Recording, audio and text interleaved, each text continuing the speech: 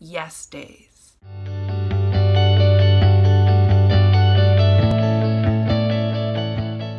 On social media, I keep seeing these videos of moms that are doing yes days with their kids. Whatever the kid asks, they do that activity and just see where the day takes them. And it seems to be a really interesting trend and these moms are really excited and how well it went or how poorly it went. And it made me think, moms with ADHD, this is how we live.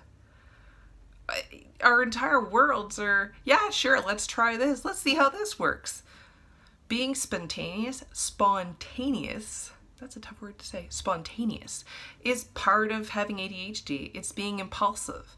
It's all of these factors are, are your executive functions. That's the part of your brain, the frontal lobe here, and these are the parts where you you make your decisions and you follow through. And everyone with ADHD, they're impaired to some extent with their executive functioning.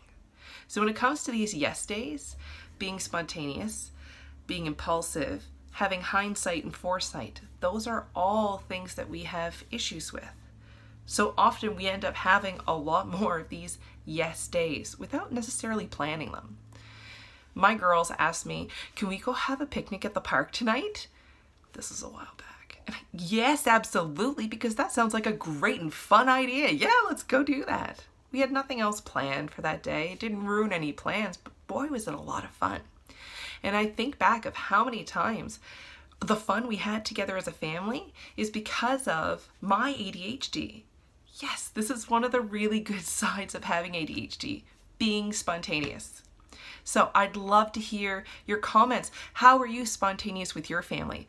Uh, comment below, subscribe to our channel, and I hope you have a wonderful day being that mom.